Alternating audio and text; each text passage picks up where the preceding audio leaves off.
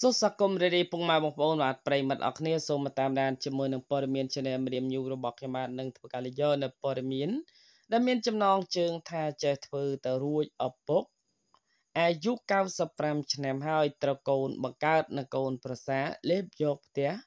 រួចបណ្ដេញគាត់ចេញបាទពុកម៉ែបងប្អូនប្រិមិត្តអរគ្នាបាទសូមជួយចុច Share ម្នាក់មួយ Subscribe ពេជានឹងរូបកណ្ដឹងដើម្បីទទួលបាននៅព័ត៌មានបាទថ្មីថ្មី ជាបន្តបន្ទាប់ទៀតបាទប្រចាំថ្ងៃសូមរីរីសន្តាប់ជាមួយខ្ញុំបាទដូចតទៅនេះបាទនៅថ្ងៃទី22ខែសីហាឆ្នាំ2022តាមរយៈពេកផ្លូវការរដ្ឋលេខាធិការស្ដីទីគណៈរដ្ឋមន្ត្រីនិងជា ជំនួយការផ្ទាល់សម្ដេចតេជោ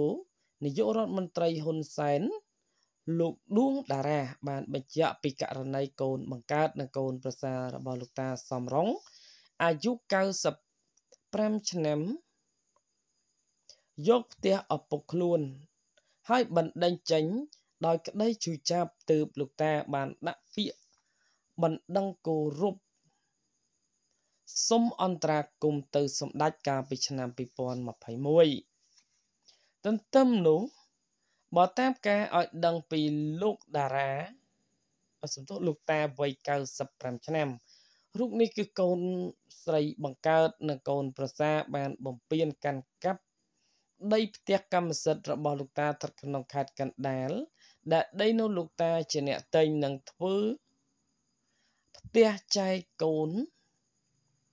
ទាំងពីររស់នៅមួយល្វែងនិងមួយល្វែងទៀតជារបស់គាត់រស់នៅតាំងពីឆ្នាំ1985ដោយឡែកនៅឆ្នាំ2006 ទើបគាត់ដឹងថាកូនស្រីលួចធ្វើប្លង់យកទាំងពីរទើបលោកតាបានប្តឹងទាមទារតវ៉ាតាំងពីឆ្នាំ2006ហើយកូនគាត់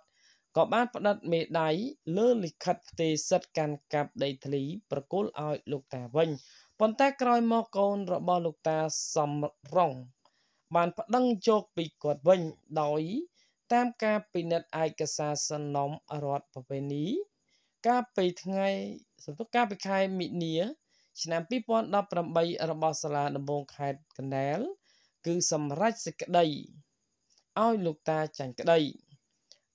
ដោយលោកតាមិនសុខចិត្តក៏បានប្តឹងឧទ្ធរ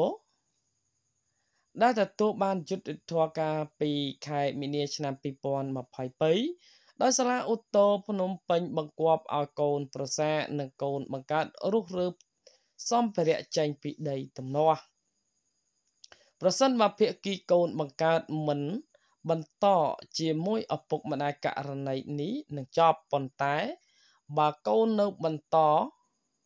ទៅកម្ពុជាលោកតាដួងសន្ទុះលោកដួងតារា បានបញ្ជាក់ថាលោកនឹងបន្តផ្ដល់មេធាវីដើម្បីជួយការពារក្តីលោកតាលោក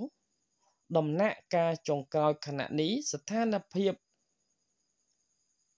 សុខភាពលោកតាមានសភាពទ្រុឌទ្រោមគួរឲ្យអាណិតយ៉ាងខ្លាំងបាទពុំហើយបងប្អូនប្រិមិត្តអរគ្នាបាទគឺជារឿងរ៉ាវដ៏ប្លែកទៀតហើយបាទដល់កូន ប្រសានិងកូនបង្កើតរួមកំណត់គ្នា បាទដើម្បីធ្វើប្លង់បាទដីឪពុករបស់ខ្លួន បាទចូលតែម្ដងបាទពិតជាមិនធម្មតាមែនបាទចុងបញ្ចប់នៃព័ត៌មាននេះ រាល់កំហុសកុសឆ្គងទាំងឡាយឬក៏មានពាក្យបាទលើលោកខ្វះខាតចំណុចណាមួយនៃការអានព័ត៌មានទាំងស្រុងនោះបាទក៏សូមមេត្តាខន្តីនិងអភ័យទោសផងក៏សូមអរគុណបាទនិងសូមជម្រាបលា